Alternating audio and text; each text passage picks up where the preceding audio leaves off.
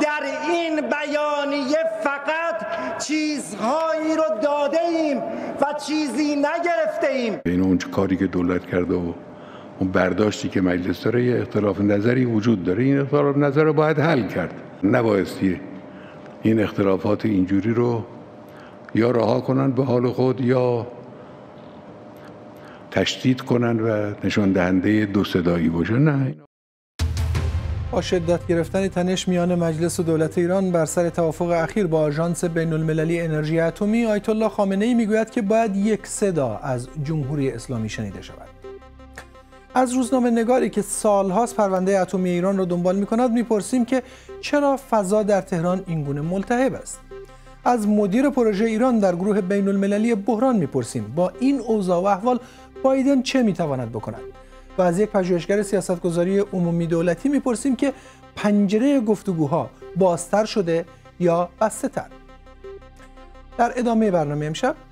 آمدن احمدی نژاد و اینا رو اصلا شما تو انتخابات در نظر نگیرید. یه عده ای که قبل از انقلاب دست فرح رو بوس می‌کردن بعد از انقلاب رنگ عوض کردن شدن سوپر جنگ لفظی احمدی نژاد و حداد عادل سرنوشت این منازعه انتخاباتی زود هنگام به کجا می‌رسد؟ من کجا بودم؟ تو زندان. هیچ قدرت نداشتم. و پایان زندگی مردی لبنانی که بر اثر ابتلا به کرونا درگذشت نگاهی می‌کنیم به سرگذشت پرماجرای انیس نقاش از گروگانگیری در اجلاس اوپک تا تلاش برای ترور بختیار.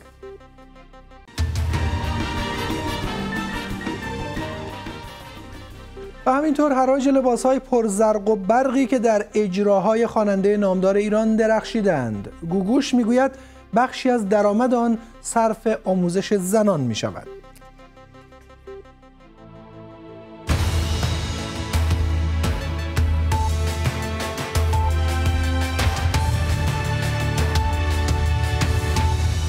شست دقیقه.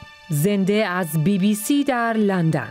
یک روز پل التهاب دیگر در فضای سیاسی ایران رقم خورد. اول مجلس به توافق دولت با آژانس بین المللی انرژی اتمی واکنشی خشمالود نشان داد. در فضایی از هم همه نمایندگان منتقد حسن روحانی بعد آیت الله خامنه ای رهبر ایران دو طرف را به تفاهم فراخواند. او خواهان رفع رجوع اختلاف دولت و مجلس شد ولی امکان بالا بردن سطح غنیسازی اورانیوم به 60 درصد را مطرح کرد. سطحی که تا حالا بر دو دولت فشاری تازه وارد می کند در تهران بر دولتی در ماهای پایانی کار و در واشنگتن بر دولتی تازه نفس. شب گذشته مدیر کل آژانس بین المللی انرژی اتمی بعد از سفر به تهران از توافق خبر داد. توافقی که تندروهای مجلس آن را عقب نشینی تلقی کردند و دست به دامان دستگاه قضایی شدند. چرا؟ در این شرایط از تهران صداهای متفاوت به گوش می‌رسد. آمریکا چه گزینه‌هایی دارد؟ بیشتر در این باره حرف می‌زنیم. اول گزارشی از باران عباسی. تصریح شد. واکنش مجلس ایران به توافق دولت و آژانس بین المللی انرژی اتمی. شکایت از حسن روحانی به قوه قضاییه. توافق و بیانیه مشترک آژانس بین المللی انرژی اتمی نقض سریح قانون اقدام راهبردی برای لغو تحریما و سیانت از منافع ملت ایران می باشد و درخواست دستور موقت ابطال آن را توسط قوه قضاییه داریم. آقای رئیس جمهور و کلیه ناقضین و مستنکفین را با قید فوریت به قوه قضاییه معرفی اشاره به توافقی که دیشب انجام شد. در سفر رافائل گروسی مدیر کل آژانس بین المللی انرژی اتمی به تهران. اولا توافق کردیم که اجرای پادمان بدون هیچ محدودیتی ادامه پیدا کنه. ثانیا با توجه به قانون مجلس و مخصوصا تبصره ای که محدودیت های ایجاد می‌کنه ما به تفاهم فنی موقت رسیدیم که بر اساس اون آژانس فعالیت های راستی آزمایی و نظارتیش رو به مدت سه ماه ادامه خواهد داد. ادامه دسترسی آژانس به تأسیسات هسته ایران هرچند که احتمالاً کمتر از گذشته. اشتباه محضه نمایندگان مجلس می‌گویند این خلاف قانونی است که سه ماه پیش تصویب کردند. قانونی که دولت را موظف می کند در صورت رفع نشدن تحریم ها از فردا اجرای پروتکل الحاقی را متوقف کند. یعنی جلوگیری از بازرسی های فوری. نظارت های سرزده است. نصب دوربین های اضافی. اگر قرار شد مصوبه مجلس اجرایی بشه این مصوبه جلوی همه اینا رو باید می‌گرفت. دولت اما می‌گوید قانون مجلس نقض نشده. دوربین هایی که فراپادمانی روشن هستند روشن بمانند اما هیچ فیلمی چیزی از اونجا در اختیار آژانس قرار نگیره و همه اونها نزد سازمان انرژی اتمی ایران محفوظ میمونه تا سه ماه آینده که نتیجه گرفته بشه. یعنی عملا نه تنها پروتکل الحاقی اجرای داوطلبانش متوقف شده بلکه آنچه هم که الان توافق شده به صورت خیلی محدود همه در چارچوب قانون مجلس است. برداشتی که مجلس جلسه پرتنش امروز مجلس به دخالت آیت الله خامنه ای منجر شد. این اظهار نظر رو باید حل کرد. دولت خودش رو موظف می‌تونه به اینکه قانون رو عمل کنه. قانون هم قانون خوبی است. باید هم به دقت عمل بشود. دو طرف در این زمینه همکاری کنن با هم. سخنانی که به نظر می رسد شکایت مجلس از دولت را نقش براب کند. آیت الله خامنه ای همچنین گفته محدودیتی برای میزان غنیسازی اورانیوم قائل نیست. حد غنیسازی ما هم 20 درصد نیست. ما اگر لازم باشه اگر برای مثلا پیشران هسته‌ای یا مسائل دیگر ممکنه به 60 درصد هم غنیسازی رو برسونیم. سخنانی هشدارآمیز برای دیگر کشورهای عضو برجام. مجلس اجازه نمی‌دهد که قانون متوقف شود. و نشانه دیگر از اینکه فارغ از اختلاف نظرها و خط و نشان کشیدنها در مسئله هسته‌ای نه دولت و نه مجلس تصمیم گیرنده نهایی نیستند. اختیارات مقام معظم رهبری است. دولتی ضعیف که ماهای پایانی عمرش را سپری می کند و مجلسی که خود را نماینده مردم می خاند اما در عمل به دهان رهبر چشم دوخته است. چه عملی قرار انجام بشد جز وادادگی؟ باران عباسی بی بی سی. شهیر شهید سالس تحلیلگر مسائل سیاسی ایران از کلگری کانادا و ماست. آقای شهید سالس سالهاست که پیگیر برنامه اتمی ایران هستند و در موردش مطلب می نویسند آقای شهیر سالس چرا در ایران اینطور رفتار می‌کنن در حالی که به نظر میاد نگاه های زیادی از آمریکا و همینطور از اروپا به ایران دوخته شده و بیشتر از هر زمانی میبایست که در اونجا اتحاد نظر باشه؟ ببینید بر صورت موضوع آمریکا موضوع مرکزی و دعوای اصلی بین دو جناح در ایران بوده. شدت گرفتنش در این مقطع به خاطر این هستش که یک مقطعیه که خیلی خیلی تعیین کننده است و خیلی روشن. یعنی صفر و یک هستش. به طور مثال خارج شدن از پروتکل الحاقی یا انجام میشه یا انجام نمیشه. بنابراین اینها الان به یک مقطعی رسیدن که نمی‌خوان هیچ کدوم از موضع خودشون عقب نشینی بکنن. دولت روحانی مصر هستش بر اینکه تحریم ها در زمانی که اینها سر کار هستن برداشته بشه و مجلس به عکس می‌خواد در دوره اینها این کار انجام نشه و عقب بیفته تا وقتی که تکلیف انتخابات 1400 مشخص بشه.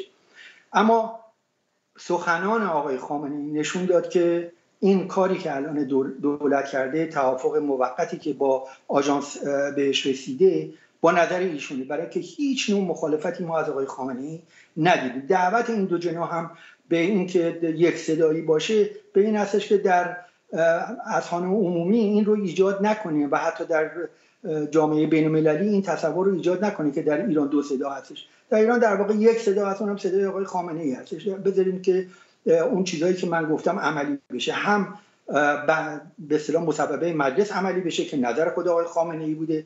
همین توافق سه که آقای خامنه ای کمترین مخالفتی باش نکرده که به نظر من 100 درصد با نظر ایشون انجام شده. از طرف آیت الله خامنه ای از غنیسازی 60 درصدی حرف زده. بسیار بالاتر از سطح 20 درصدی که الان جریان داره و خود اون هم نقض بر جامعه. آیا آقای خامنه ای با این اظهارات عمدن دولت آقای روحانی رو تحت فشار قرار نمیده؟ نه به نظر من هدفشون این نیستش هدف این هستش که برای که آقای خامنه‌ای همونطور که گفته اگر تحریم ها رو بشه یک ساعت زودتر برداشت نباید تحمل کرد که درسته شما توجه داشته باشین آقای نوبخت در جریان تقدیم بودجه به مجلس یک حرفی با از شاید از دهنشون پرید با آقای قالیباف زدن که شما شرایط اقتصادی رو از گزارش های فوق محرمانه که دستتون رسیده نمی‌دونین چیه.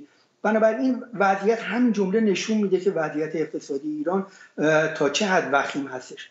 آقای خامنه‌ای به نظر من دو تا هدف داره. یکی اینکه برداشتن تحریم با این فشارهایی که میارن مسئله 60 درصد مطرح می‌کنن. یکی اینکه مسئله تحریم ها اون گستره ای که دلشون می‌خواد داشته باشه برای اینکه همش بحث هستش که ممکنه دولت بایدن نتونه تمام تحریم ها رو برداری و درست هم هستش بخشی از اونها رو ممکنه نتونه که در ارتباط با تروریسم هستش برداری.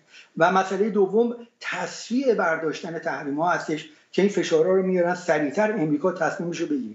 آقای جیک سالیوان مشاور امنیت ملی دو روز پیش گفتش توپ در زمین ایران وضعیت فرق کرده ایران منزوی شده از نظر دیپلماسی.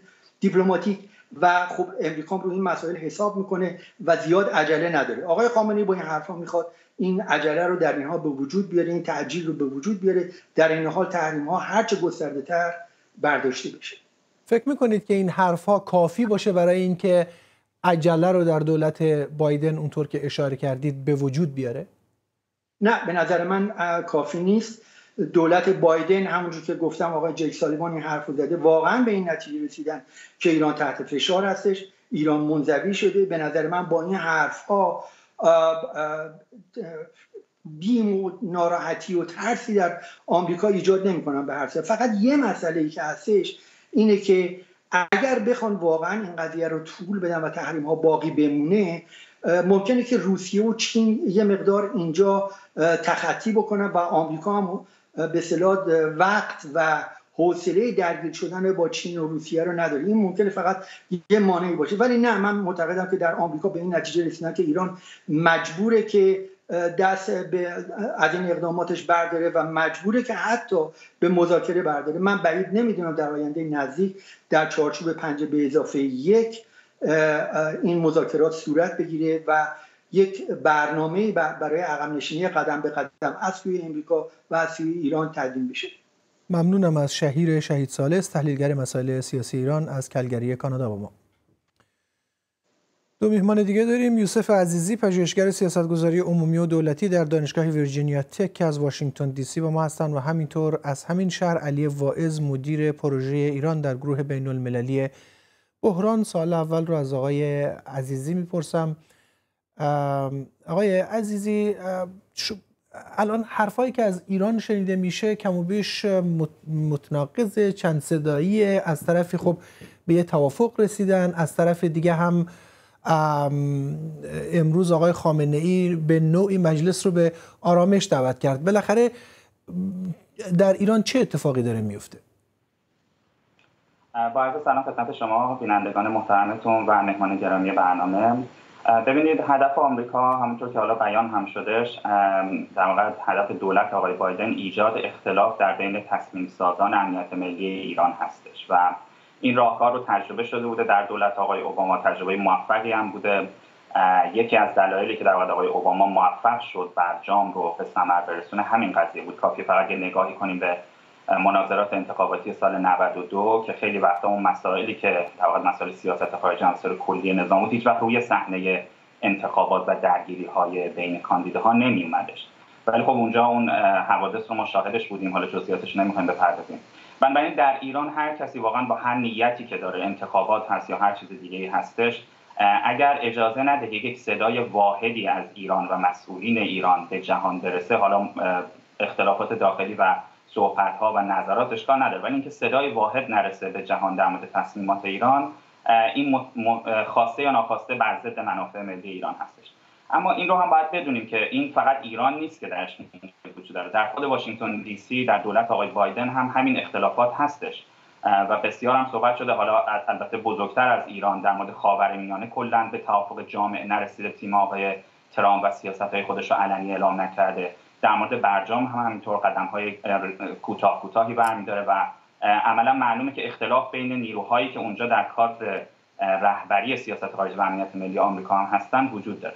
یک نکته که فقط باید بگیم اینه که در دولت هشت ساله آقای روحانی تنها میراثی که امکان داره باقی بمونه بله. همین بحث برجام هست و مذاکرات هستی در بقیه مسائل خب وضعیت از اون یک سال آخر دولت آقای احمدی بدتر هستش.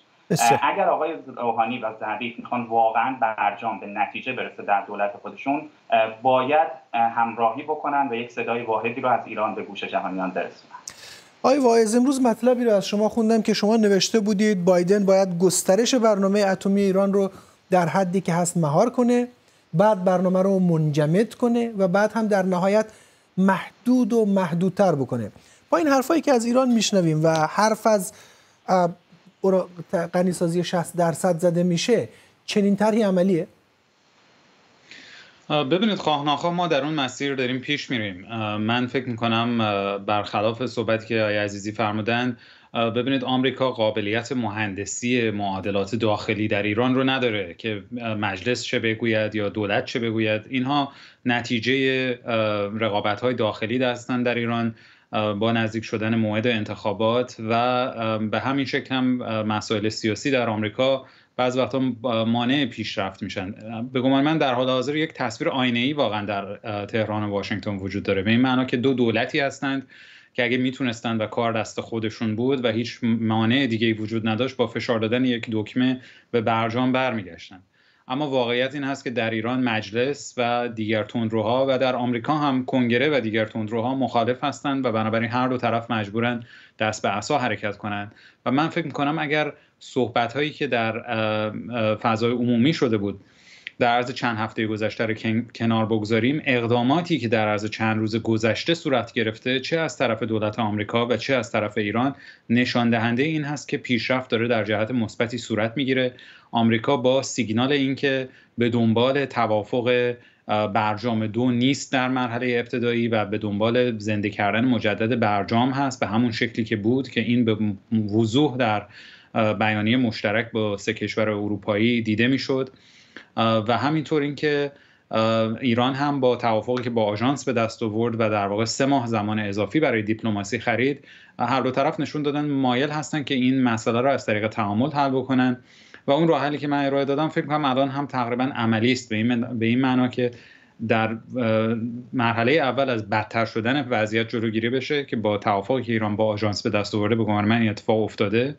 مرحله دوم این هست که اتفاقات در واقع بدی که در ممکنه پیش بیاد با پیشرفت برنامه هسته‌ای یا با ادامه تحریما بله. اونها رو منجمد بکنن دو طرف که این به گمان من کاملا عملی است. مدل توافق ابتدایی که پیش از برجام به دست اومد و بعد مرحله سوم این هست که یک جدول زمان بندی شده برای بازگشت دو طرف به تعهداتشون رو مورد مذاکره قرار بده.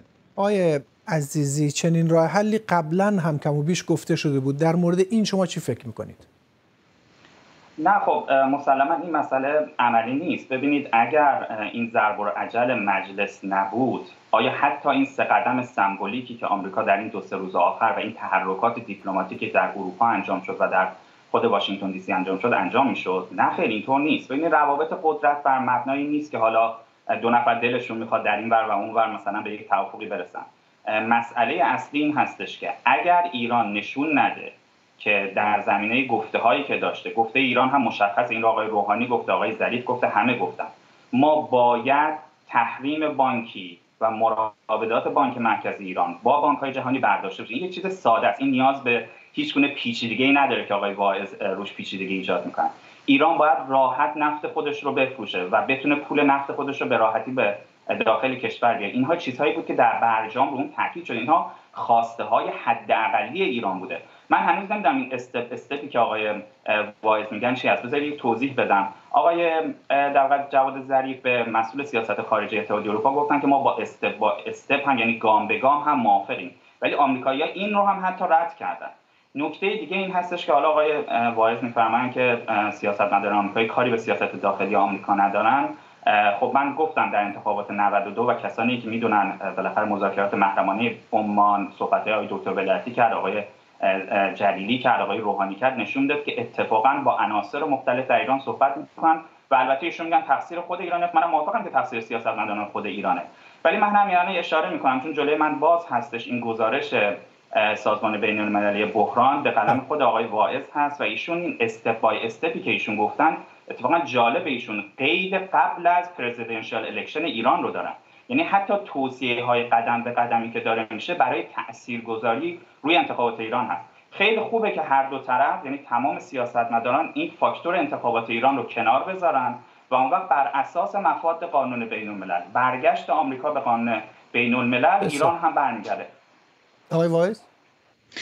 ببینید علت این که من فکر می‌کنم خوب هست این کار پیش از انتخابات یا لاقل پیش از دست به دست شدن قدرت در ایران اتفاق بیفته این هست که ببینید در دیپلماسی افراد و اشخاص مهم هستند به هر حال الان اشخاصی هنوز سر کار هستن در ایران که خودشون برجام رو مذاکره کردن. با همین افرادی که الان در دولت بایدن دوباره به قدرت رسیدن تجربه مذاکره و آشنایی و همکاری دارن و بنابراین کار بسیار راحتتر پیش خواهد رفت تا یک اشخاصی بر سر کار بیان که نه تجربه مسائل تکنیکی برجام رو ممکنه داشته باشن و نه آشنایی با طرف مقابلشون و یا حتی تسلط بر زبان. ببینید اینا همه عواملی هستن که در دیپلماسی مهم هستن.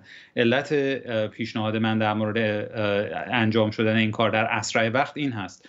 و یه فاکتور دیگر هم شما در اینجا در نظر بگیرید. هر روزی که میگذره و پیشرفت صورت نمی‌گیره عملا فرصتی هست برای چه اونهایی که می‌خوان چوب لای چرخ بذارن در داخل کشور در داخل آمریکا در منطقه. و یا اینکه اتفاقات از پیش پیش بینی نشده ممکنه پیش بیاد. مثلا امروز ببینید دوباره یک حمله راکتی در عراق بوده. کافی است یک آمریکایی در یکی از این حمله ها کشته بشه و اون وقت واقعا کار دیپلماسی به مراتب دشوارتر خواهد شد. و بنابراین به نظر من پیشرفت رو نباید عقب انداخت به امید اینکه مثلا یک جوری بشه بر انتخابات ایران تاثیر گذاشته بشه که همونطور که گفتم معمولا آمریکا نه تنها قابلیت این کار نداره بلکه حتی از درک درستی از معادلات سیاست داخلی در ایران برخوردار نیست. آقای عزیزی یک نظریه یا یک گفته بسیار مطرح شده در هفته های اخیر میگن که در زمان دونالد ترامپ این حرفایی که جمهوری اسلامی می‌زنه خیلی مطرح نبود. بعد از اینکه بایدن زبانی نرم رو انتخاب کرده و به قدرت رسیده چنین چیزهایی مطرح میشه. آیا زبان نرم باعث جسارت بیشتر جمهوری اسلامی شده؟ نه من اصلا این حرف رو قبول ندارم. ببینید باید یه ذره منصفانه به مسئله برخورد کنیم. آمریکا در برجام نشان داد. حالا هنر تحریم ها رو میگن کتابم نوشته شده ولی واقعا باهوشی آقای اوباما اینجاست. ایشون به منتقدین خودش در زمانی که برجام امضا شد به پایتخت کشورها رفته بود به منتقدین خودش در کنگره چه جمهوری چه دموکرات می‌گفت. می‌گفت من میراثی رو گذاشتم که رئیس جمهور بعدی در واقع ساختار تحریم ها رو به هم نریزم رئیس جمهور بعدی هر وقت فکر کنه که این قرارداد بر اساس منافع ملی آمریکا نیست می‌تونه دوباره تحریم ها رو برگردونه ببینید برجام نه ساختار تحریم های سازمان ملل رو خراب کرد و نه ساختار تحریم های آمریکا. حالا به صورت مختلف می‌تونیم بحث کنیم. اسنپ بود مکانیزم ماشه بود هژمونی آمریکا هست که در زمان ترامپ دیدیم که تونست تحریم ها رو برگردونه. اما ببینید ایران هیچ گارانتی نداره ایران هیچ ضمانتی نداره. این حرف که ما بگیم آمریکا اگر برگرده ببینید ترس یعنی سوال آقای واعظ باید جواب بدن چون ایشون بالاخره بیشتر آشنا هستن. چرا آمریکا بر نمیگرده به برجام؟ آمریکا میترسه اگه به برجام برگرده مثلا ایران درخواستای بیشتری کنه یا ایران به تعهداتش برنگرده. خب آمریکا می‌تونه در از سی روز مکانیزم ماشه رو اجرا بکنه و می‌تونه نه تنها تحریم هایی که الان روی ایران هست بلکه تحریم های بین المللی و اون همکاری بین المللی و مولتی که میگن همه جانبه که اروپایی ها روسیه و چین هم همراهش باشن. اما ایران چی؟ ایران اگر برگرده به در تعهدات خودش و دوباره آمریکا زیرش بزنه چه ضمانتی برای ایران وجود داره؟ ما این رو باید در نظر بگیریم. نکته این به نظر من نکته مهمی هست. بنابراین ایران چه آقای ظریف چه آقای ببین کسی در ایران مخالفه ای نیست که باید در اسرع وقت به هر دو طرف به تعهدات خودشون برن. بحث اینه که آمریکایی ها شرط دارن می‌ذارن. آمریکایی‌ها باید شرط و هیچ استپی هم نداره من یک نکته کوچیک بگم. ببین بحث تروریسم رو مطرح می‌کنن. خیلی کوتاه. ببینید چطور دولت آقای بایدن توانست انصار الله گروه حوسی ها رو از لیست تروریستی در بیاره. ولی نمی‌خواد این کارو در مورد بقیه چیزا بکنه. ما بیخود داریم کسی که قدرت رئیس جمهور در آمریکا رو بدونه و قدرت اجرایی. چون تمام این تحریم هایی که در این چهار سال آقای ترامپ گذاشت تو کانگره نبود. بر اساس دستور اجرایی بود. تمام اینها قابلیت برگشت داره. تنها نکته ای که که آقای بایدن یکی به فکر انتخابات ایران هست. یکی دیگه هم که نمی‌خواد از اون دامستیک پولیتیکال کپیتالش استفاده کنه. یعنی از اون یعنی سرمایه سیاسی لازم رو خرج بکنه. اتفاقا همین سرمایه سیاسی که آقای عزیزی اشاره می‌کنن در مطلب شما هم امروز اومده بود آقای وایز بله ببینید به هر حال بدون شک هر اقدامی که بایدن بخواد انجام بده نیازمند این هست که از سرمایه سیاسیش در اون سرمایه گذاری بکنه. اما ببینید علت این که آیه عزیزی که اینجا هستن باید اتفاقا به این موضوع به خوبی واقف باشن. علت این که در مورد یمن دولت آمریکا توانست سریع پیشرفت بکنه این هست که هر دو حزب سیاسی در آمریکا موافق این هستند که جنگ یمن جز به یک فاجعه انسانی هیچ نتیجه دیگه در بار نداشته و از این لحاظ هست که تونست دولت آمریکا در این زمینه پیشرفت کنه. اما در مورد برجام حتی دموکرات ها مخالف هستن که آمریکا بخواد تحریم ها رو برداره. با این حال اگر شما بیانیه سه کشور اروپایی و آمریکا رو بخونید کاملا مشخص است که آمریکا حاضر هست این تحریم ها رو برداره. ولی من فکر کنم علت این که دست به اسات حالا را رفته این هست که هنوز نیاز داره به کنگره برای اینکه بتونه رأی اعتماد به مسئولین بالا رتبه دولت بگیره. در ضمن آیا عزیزی به نظرم خودشون حرف خودشون نقص کردن.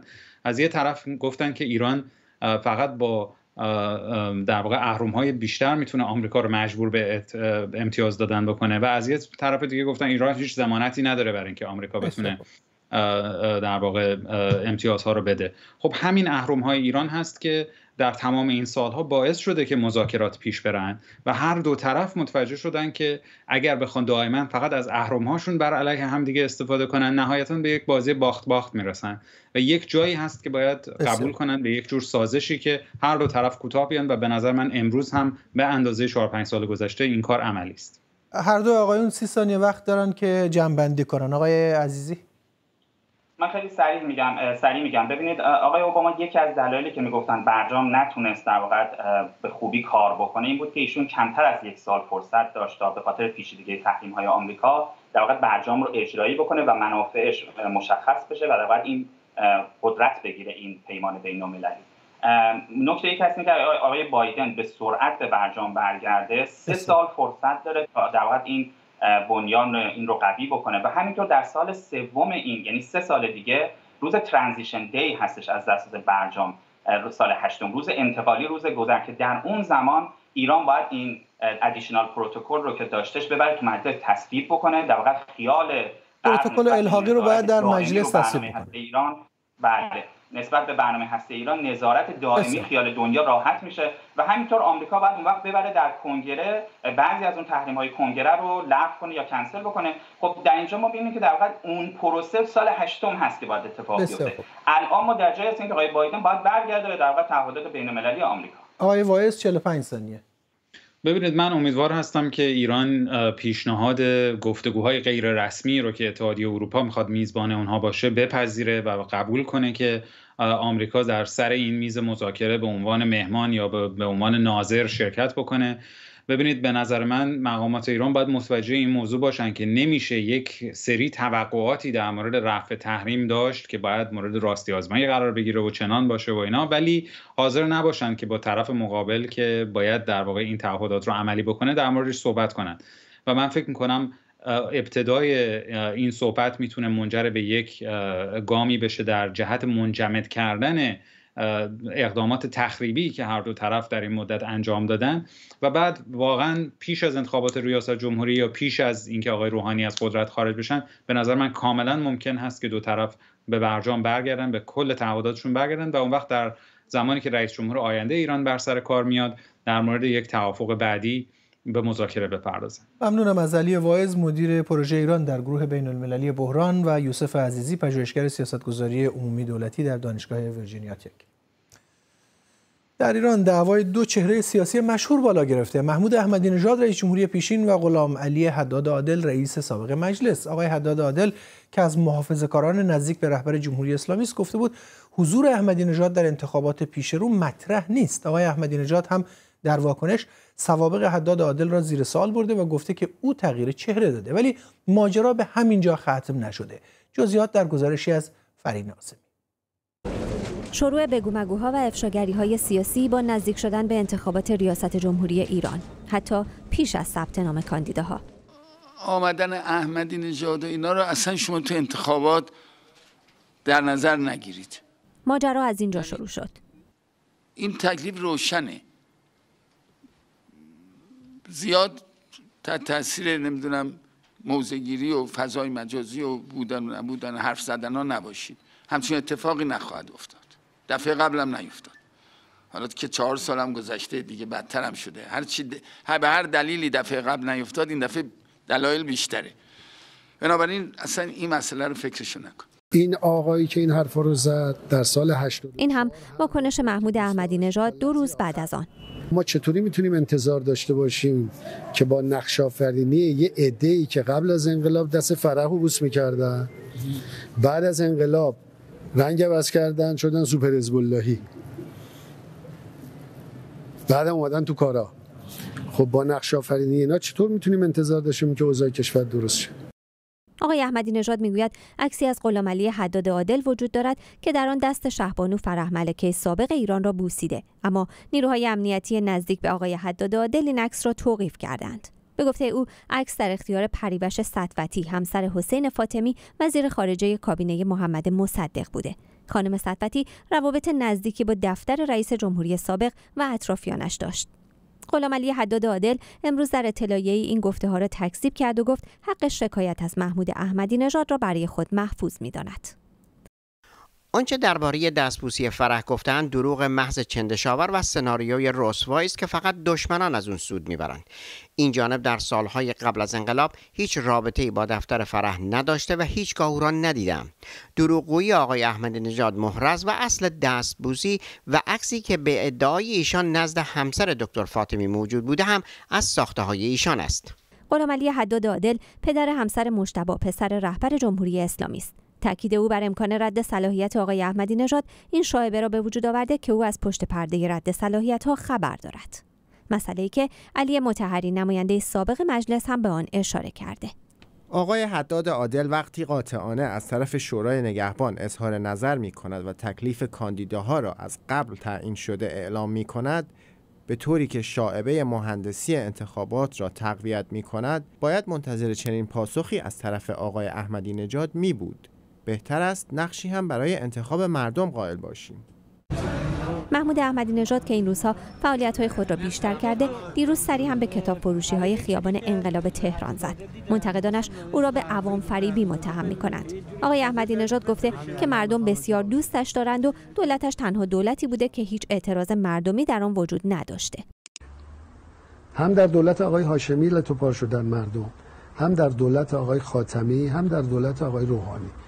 تنها دولتی که ما هیچ اعتراض مردمی علیه دولت نداشتیم. هیچی. هشت سال ماست.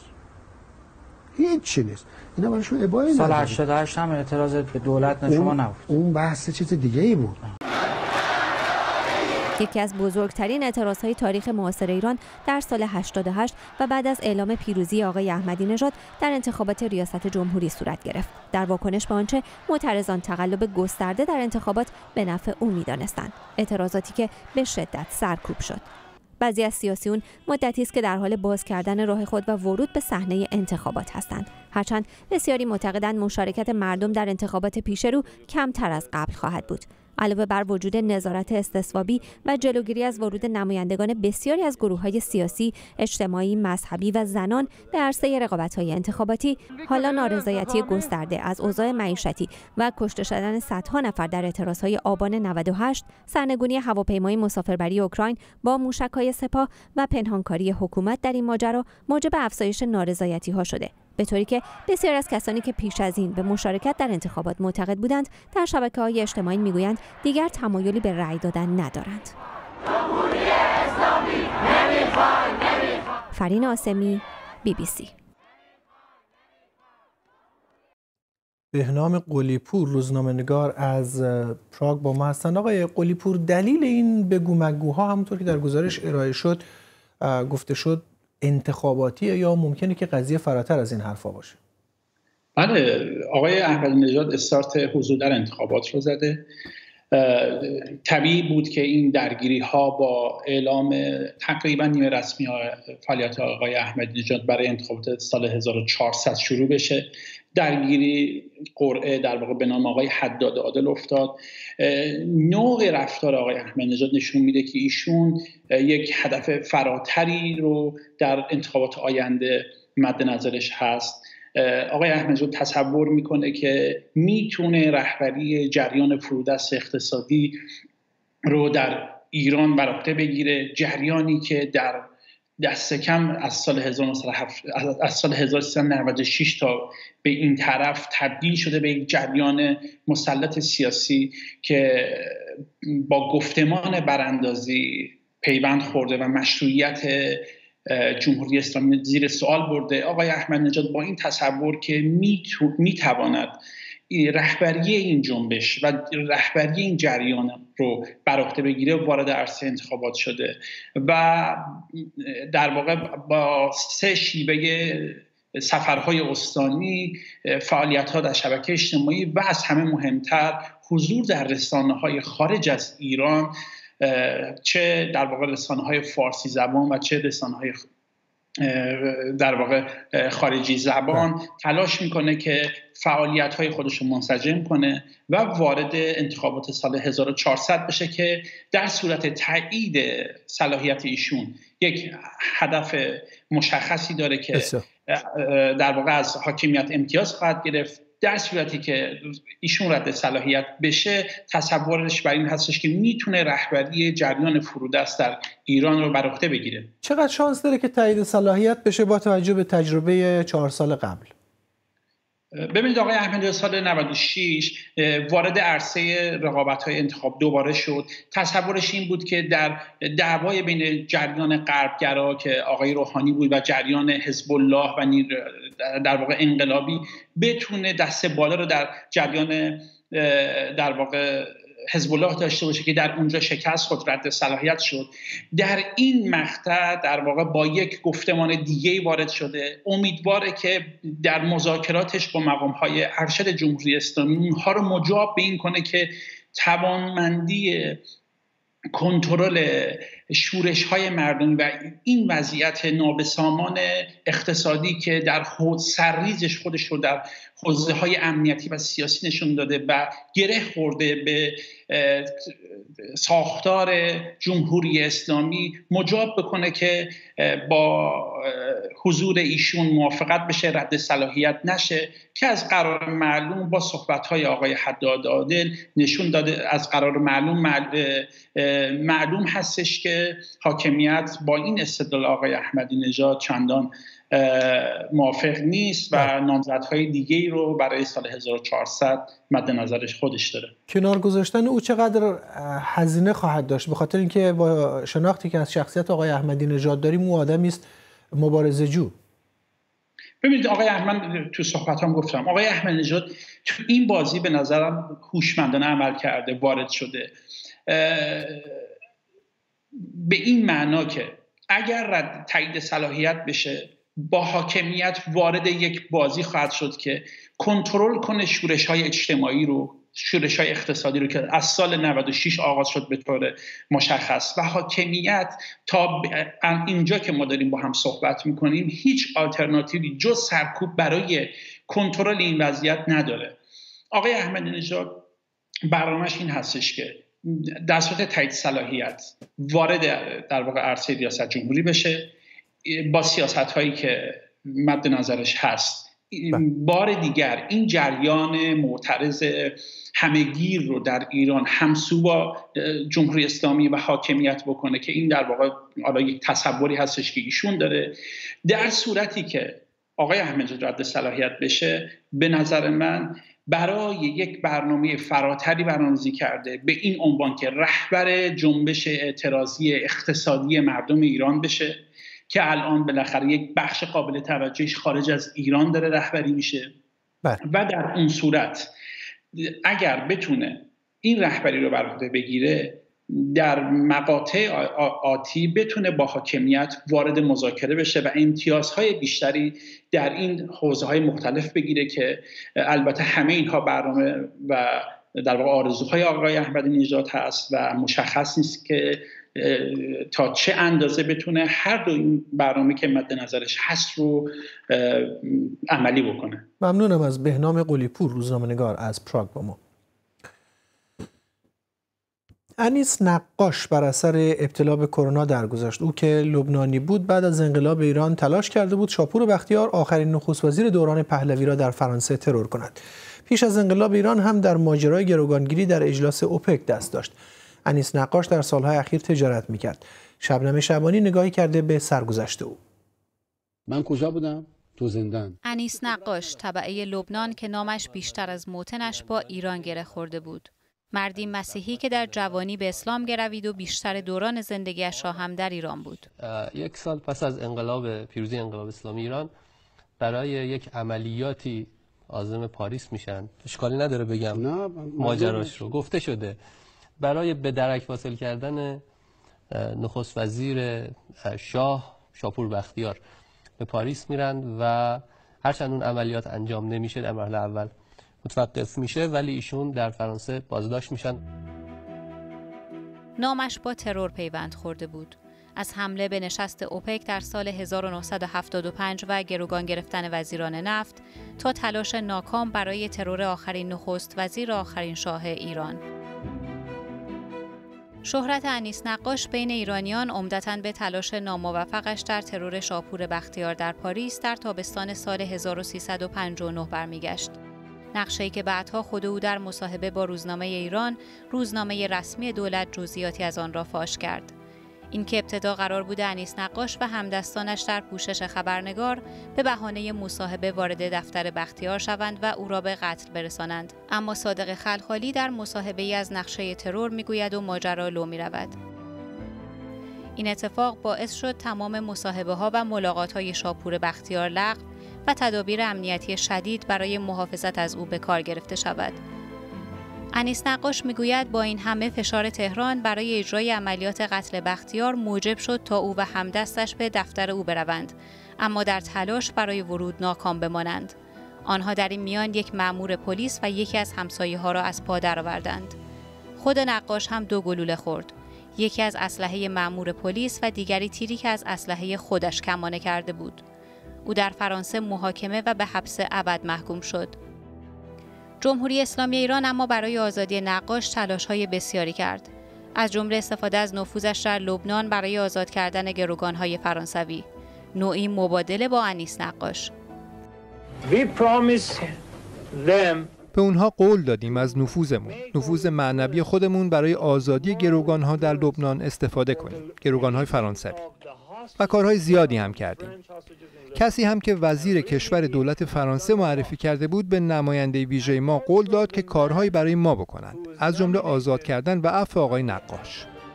حدود یک دهه از زندانی شدن نقاش گذشته بود که رایزنی های دولت هاشمی رفسنجانی با دولت وقت فرانسه به ریاست جمهوری فرانسوا میتران سرانجام موجب آزادیش شد. نقاش چند سال پیش از انقلاب ایران در کنار کارلوس معروف به شغال در حمله به اجلاس اوپک در وین در سال 1975 هم دست داشت. جمشید آموزگار رئیس دوره وقت اوپک از ایران یکی از گروگانها بود که گروگانگیران تهدید به قتلش کرده بودند. این گروگانگیری دو روز بعد با میانجیگری و مذاکره در الجزایر خاتمه یافت. انیس نقاش بعد از آزادی از زندان فرانسه تا پایان زندگی عمدتا در ایران بود. هرچند که خبرگزاری های نزدیک به حکومت در ایران می‌گویند او بعد از ابتلا به کووید 19 در سوریه و در بیمارستانی در دمشق بستری بود و همانجا هم درگذشت. گزارش شده که می‌خواهند او را برای دفن به لبنان برگردانند. شبنم شبانی بی بی سی حمید نوزری فعال سیاسی از برلین با ما آقای نوزری که درباره ترورهای برون مرزی جمهوری اسلامی تحقیقات زیادی داشته کتابی هم نوشته درباره سیر دادگاه میکونوس با نام هنوز در برلین قاضی هست. آقای نوزری وقتی حرف از ترور مخالفان جمهوری اسلامی در خارج از ایران می‌زنیم چقدر نام افراد اینجا مهمه؟ افراد که منظورتون کسایی که ترور میشن درسته؟ منظورم کسانی مثل انیس نقاشه که عاملان ترور هستند بسیار مهمن یعنی اینها با توجه به کسایی که دستگیر شدن یا اسمشون در آمده نشون دهنده به ادغام جدی اونها در دستگاه سیاسی امنیتی و دیپلماتیک جمهوری اسلامی و برای همین خیلی مهمه بعد این جریانات که چجور جمهوری اسلامی ایران حالا با گروگانگیری با فشارهای دیگه است گاهی وقتا با بمبگذاری و و و سعی می‌کنه ولی بیشتر دادن امتیازات و اینهاست که اونها رو به اصطلاح دوباره پس بگیره برخلاف تصویری که کلیا میدن که جمهوری اسلامی در برای این یا اون خودش رو به اصطلاح زیاد به درد سر داده اصلا اینطور نیست. پشت پرده از طرف نیروهای نیابتی و همچنین به وسیله ابزارهای مختلف به شدت سعی می‌کنه که این افراد رو نجات بده و نشون بده به بقیه که ما پشت اونها هستیم. ما یک با یک مثال این بخش رو تموم می‌کنم. در جریان ترور میکنوس هنگامی که کسی که قرار بوده جلوی در وایسه می‌پرسه اگر مشکلی برای ما پیش بیاد چه اتفاقی میفته نفر دوم عباس رائل که تیر خلاص رو می‌زنه میگه نگران نباش ایران پشت ماست. و با توجه به این ایران پشت ماست اینها با راحتی بسیاری به این اعمال خودشون که گاه بسیار هم مشکل دست می‌زنن. یک دیپلمات ایرانی به اتهام تلاش برای بمبگذاری ناکام محکوم شده. آیا همچنان ایران از روش های گذشته استفاده می‌کنه از نظر شما؟ کاملا. بهتره که نگاه بکنیم که این مسئله انیش نقاش اصلا جدید نبوده. ما در پیش از اون با تعدادهای زیادی و یک وجه این جریان هم اینه که اینا موقع که آزاد میشن و به ایران برمیگردن. کسایی که امنیتی نباشن و پشت صحنه نباشن به عنوان مثال مثل خود این انیس نقاش یا مهداد یا کازم دارابی یا این کسایی که این اواخر از تایلند آزاد شدن. مثلا مهداد کوکبی که در رابطه با جریان فتوای رشدی در انگلستان کتابخانه آتیش زده بود موقعی که برگشت در چند دولت رفسنجانی خاتمی و بعد احمدی نژاد سمت های خیلی مهم دولتی گرفت. کولش فولادی که بمبگذاری کرده بود در دوازده سال در انگلستان بود موقعی که برگشت نماینده مجلس شد. و علاوه بر اینها همیشه نمایندگان رسمی وزارت امور خارجه به استقبال اینها میره و اینها رو در جاهای خیلی زیادی به اصطلاح مورد تقدیر قرار میده کنگره براشون می‌ذاره صحبت می‌کنن. مثال کادم دارابی کتابش نمی‌دونم جایزه دادن به کتاب اون یا همین آقای انیس نقاش که رئیس مرکز پژوهشی امان شده بود. اینا نشون دهنده اینه که چجور با رسیدن به اینها به سوال شما برمیگردم اینه که این جریان با اسدالله اسدی تموم نمیشه. غیر از اینکه کشورهایی که این اتفاقات ممکنه در اون بیفته سخت محکم و بدون دادن باج جلوی ایران وایسد مسئله ترور از بین بردن مخالفین ترس و وحشت به وجود آوردن با وجود جمهوری اسلامی ایران به وجود اومده و به نظر من تا موقعی که این سیستم بر این پایه میچرخه باز هم ادامه پیدا خواهد کرد. بالا و پایینش بستگی به قدرت مقاومت نیروی مخالفش داره. بسیار ممنونم. بله ببخشید. بسیار ممنونم. متاسفانه وقتمون به پایان رسید. خیلی متشکرم از حمید نوزری فعال سیاسی که از برلین با ما بودند. منم از شما متشکرم. گزارش ها از ایران نشان می‌دهد که بسیاری از مردم برای تهیه مایحتاج اولیه خود دچار مشکل جدی هستند و شرایط زندگی برای آنها روز به روز سختتر می شود. بعضی حتی نان را قسطی می‌خرند. گزارش تازه مرکز آمار نشان می‌دهد که خانواده ها برای تأمین کالاها و خدمات مورد نیاز خود حالا باید به طور میانگین تقریبا 50 درصد بیشتر از یک سال پیش هزینه کنند. پرهام قبادی گزارش می‌دهد.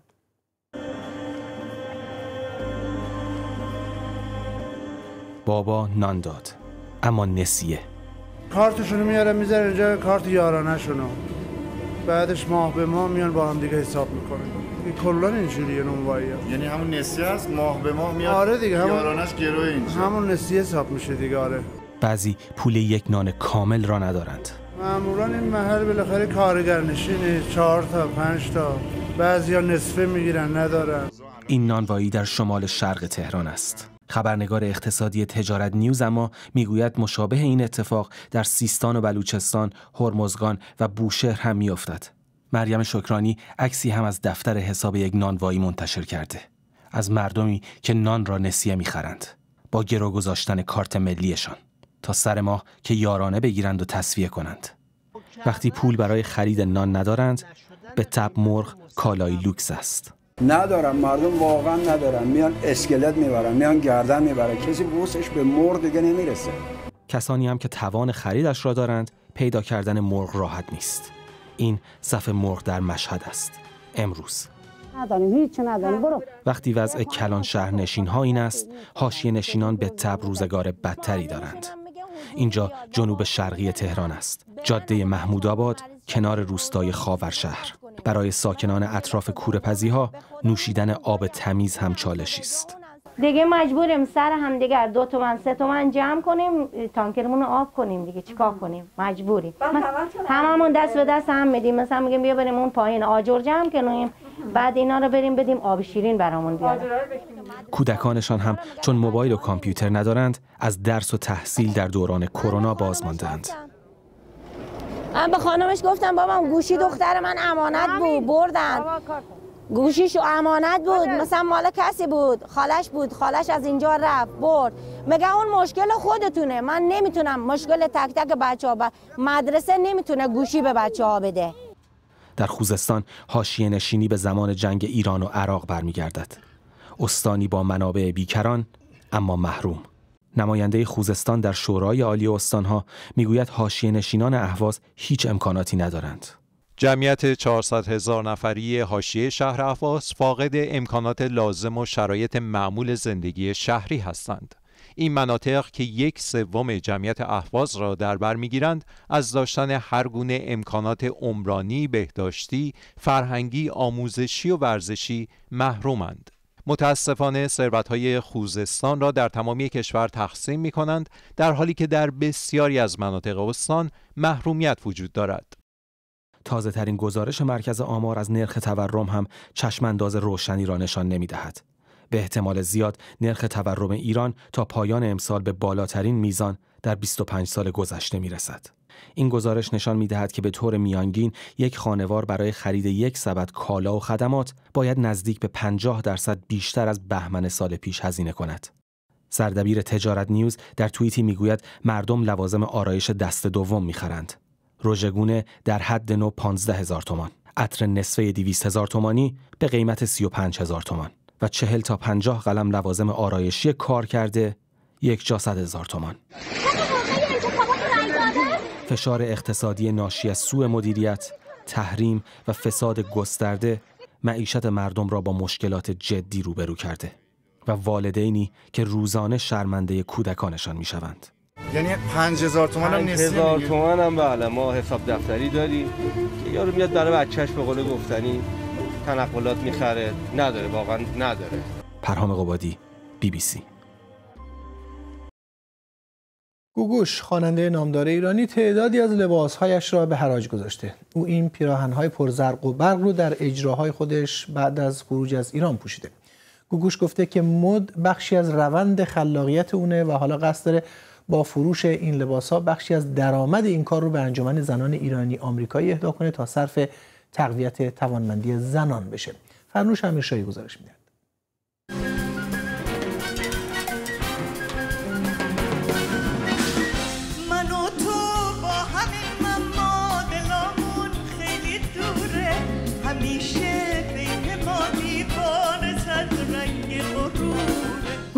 در یکی از آخرین کنسرت هایش وقتی صدا و ترانه های او خاطره ها را زنده می کرد و حال و هواها را دگرگون حالا قصد دارد همین پیراهنش را به همراه تعداد دیگری از لباسها، کلاهها و دستکش هایی که از زمان خروج از ایران در اجراهای مختلف به تن کرده به حراج بگذارد. با دستای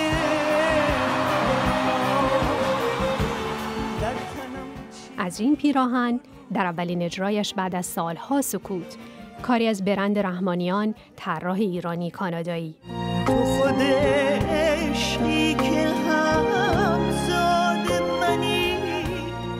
تا این یکی لباس سیاه و سفید باشکوهی که در اجرای ترانه همزاد پوشید. قرار است بخشی از درآمد این حراج در اختیار بنیاد زنان ایرانی آمریکایی قرار بگیرد تا در قالب بورس صرف تحصیل زنان شود.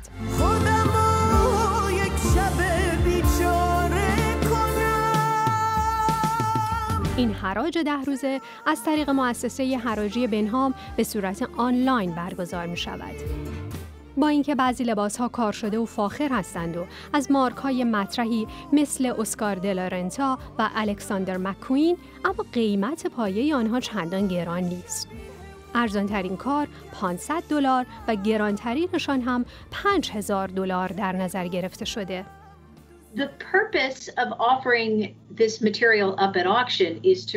هدف از فروش این پوشاک اینه که پولی برای خیریه جمع بشه. گوگوش می‌دونه که قیمت بعضی از لباس شبها از پولی که خودش پرداخته کمتره. اما در عین حال این رو هم می‌دونه که ایده این بود که افراد بیشتری در این طرح مشارکت کنند و بهترین راه برای رسیدن به این هدف اینه که قیمت پایه رو پایین نگه داشت. خیلی دوست دارن لباس ها رو داشته باشن ولی در نهایت فقط یه نفر می‌تونه.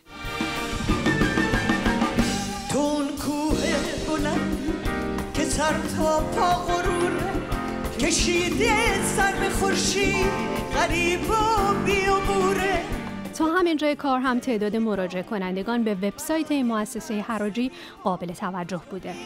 گوگوش در سالهای فعالیت های هنریش تاثیر زیادی روی مد داشته. قبل از انقلاب هر چه می پوشید به سرعت بازار را قبضه می کرد. ای چشم من بدون هنوز هم آرایشگاه ها مشتریانی دارند که می‌خواهند موهایشان را گوگوشی کوتاه کنند. تو بگو جست و کدوم رو ناجی لب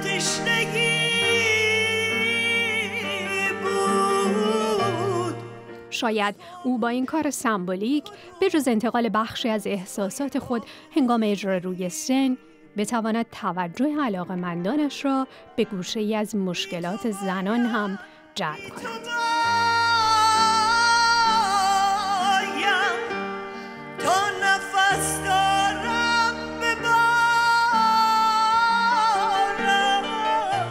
انوش شاهی بی بی سی.